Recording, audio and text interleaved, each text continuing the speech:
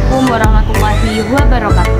Ada peribahasa bilang bahwa Anda tidak punya kesempatan kedua untuk membuat kesan pertama. Seringkali kesan pertama ini datang dari kata-kata indah. Tapi pembahasan saya pada hari ini tentang makanan dari bahan pangan di samping. Halo semuanya, saya Ayu Dewi, kelas 9A, nomor absen 8. Agar tidak lama-lama lagi, langsung aja kita ke materi.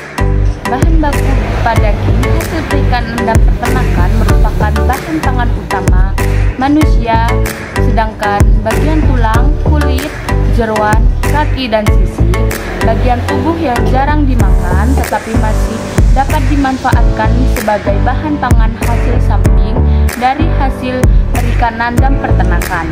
Masih memiliki kandungan gizi sehingga dapat dimanfaatkan hasil samping pangan. Jenis dan manfaat A. Kepala ikan memiliki nilai nutrisi yang hampir sama dengan bagian tubuh utama di mana terdapat daging ikan. B. Kulit Kulit mempunyai banyak fungsi antara lain sebagai alat perasa, pelindung, jaringan di bawahnya, memberi bentuk, mengatur suhu tubuh, tempat sintesis vitamin D. C. Ceker ayam Ceker ayam mengandung protein, kolagen, zat, kapur, kalsium, dan kalsilagu. D. Tulang ikan Tulang ikan mengandung kalsium, fosfor, dan vitamin D. Teknik pengolahan makanan dari produk samping bahan baku perikanan dan peternakan. 1. Penggorengan 2. Pengeringan 3. Penggilingan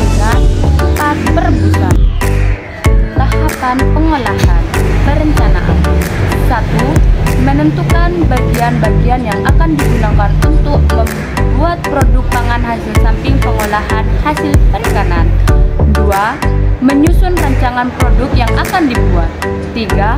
Menyusun kebutuhan alat dan bahan sesuai dengan produk pangan hasil samping pengolahan dari hasil perikanan yang akan dibuat 4 menyusun jadwal pembuatan produk pangan hasil samping pengolahan hasil perikanan.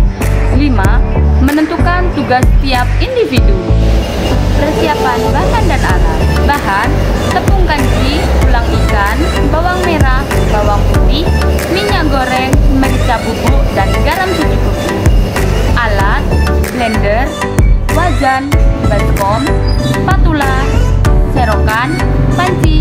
kompor. Proses pembuatan 1. Awalnya tulang dan kepala lele dicuci sampai bersih Lalu kemudian direbus selama beberapa jam sampai tulang menjadi lunak 2. Pada proses pemblenderan ini menjadi tahapan paling memakan waktu lama dibandingkan proses lainnya karena tekstur yang keras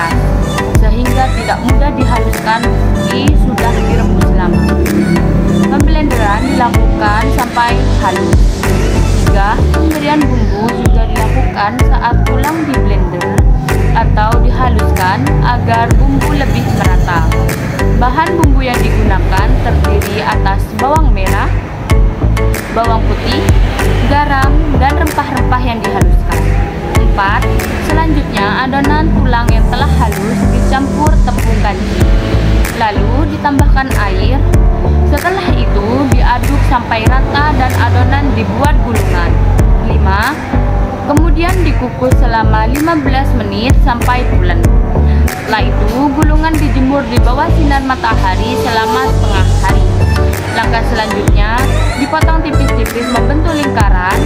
Kemudian kerupuk kembali dijemur selama satu hari penuh sampai kering. Dilakukan penggorengan, kerupuk kemudian dikemas dalam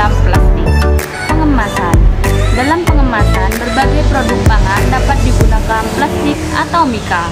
Kesimpulannya, pengolahan makanan hasil samping dari bahan baku perikanan dan peternakan memerlukan beberapa kali uji coba. Kita harus teliti, tekun, dan sabar sehingga menemukan produk pangan samping yang mengandung nilai gizi dan memiliki nilai ekonomi. Sekian presentasi dari saya. Bila ada kesalahan, mohon dibicarakan baik-baik, bukan malah pergi mencari yang lebih baik. Wassalamualaikum warahmatullahi wabarakatuh.